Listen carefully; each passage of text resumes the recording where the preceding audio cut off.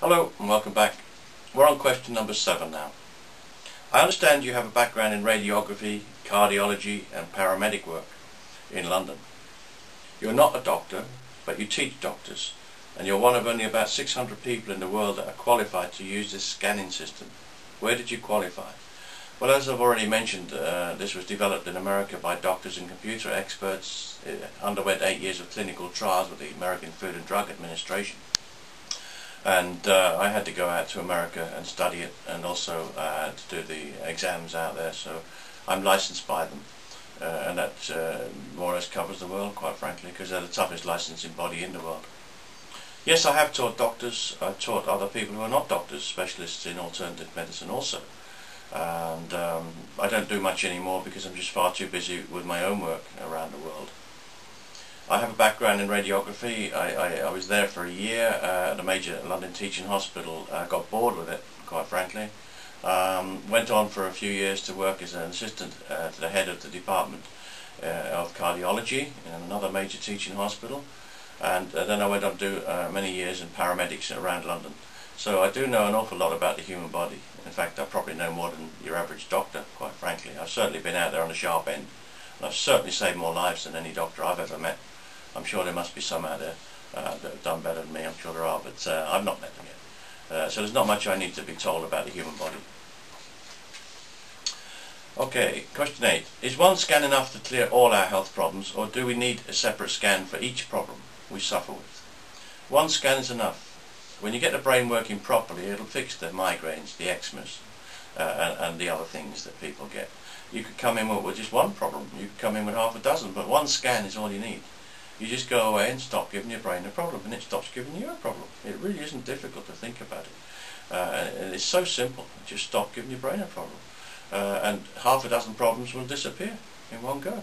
It really is clever, isn't it? Number nine. Do certain foods cause similar health problems? For example, if say 10 people were intolerant to mushrooms, would they all get headaches? It's an interesting one. No, they wouldn't.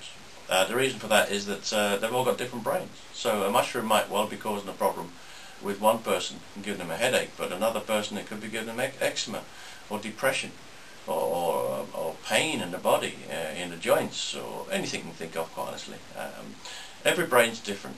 So uh, the answer to that is no. Um, um, everybody would have their own individual problems.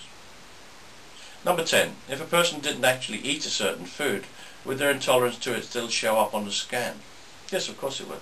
Um, I do check things that people never even heard of. They come up, uh, run through a, a, bunch of things, and often they'll say, I've never heard of that. But um, they can be intolerant to them. Of course they can.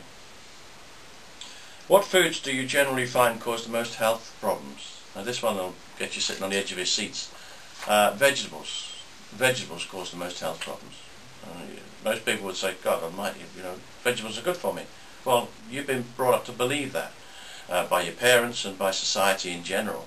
Uh, and all the people out there who are shouting at you, telling you that vegetables are good for you, they've all had parents too, and they've grown up believing it. And uh, an awful lot of them, of course, will also make money selling these things. I'm not, I've got nothing against vegetables. I, I eat some, don't eat very many, potatoes, maybe onions. Don't eat much, much else. I have nothing against them, but I'm just telling you the facts. I've treated and cured about 10,000 people now, so if I don't know, then nobody does, quite frankly. Vegetables are the group of foods that cause the most health problems. And then you wonder why you're getting all these problems. Because as you get older, as we get older, people tend to try and eat more healthily, inverted commas. Uh, and when in fact what they're doing is eating worse and more dangerous things for the brain. And mostly they'll be called vegetables. Read my book, it's all in there. Why Doctors Don't Make You Healthy. Check it out on my website, healthscan.co.uk.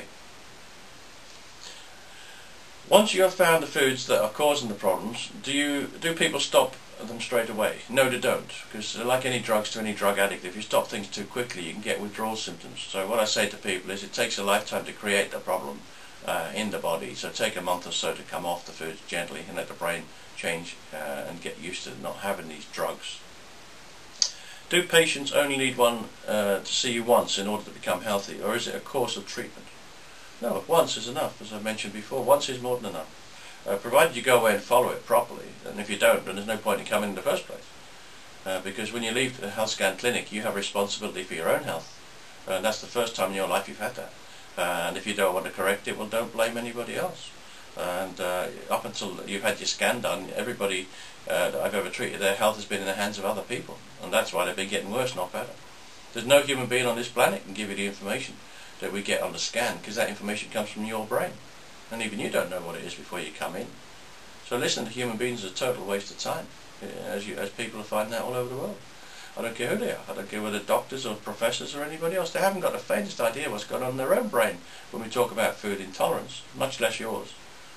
So it's up to you to follow it and, and get the best from it. But one scan is enough. Are there any side effects when people have this scan done? Yes, as I always answer, uh, yes there is. Uh, they get better. Well, that's a pretty good side effect. Eh? How many problem foods would you normally find in a typical scan? Well, I've mentioned it before. There is no typical scan. Uh, it can be one, it can be half a dozen, it can be ten, it can be fifteen. Uh, many of which, of course, you've probably not even eaten, but uh, at least you know they don't, they don't suit your brain, which is what you need to know. I know you test for about 200 everyday foods, but what happens if someone eats an unusual food on a regular basis? Can they get that checked also? Yes, of course. Uh, anything that's a bit weird or wonderful, I get people to bring it in, just in case it's not on my computer. I do have an awful lot of things on there, so it probably will be on there, but bring it in anyway, and we can run a test on it that way. It's not difficult. Can the patient reintroduce the problem foods again, or do they have to stay off them forever? No, you, you can go back on most of these things in about six months or so. Um, within very short time of coming off the foods, within a month or six weeks or so, the brain's working properly because it's not getting the bad drugs hitting it on a daily basis or three or four times a week. So it runs your body properly and your health problems clear up. But equally, that computer in your head is now working properly. And uh, I say to people, stay off the diet for about six months or so. Uh, stay on the diet, I should say, for about six months or so. Uh, and give your brain time to really get into gear. And then when it's a new computer, it's repaired, it's fixed, as it will be, well and truly, it can handle things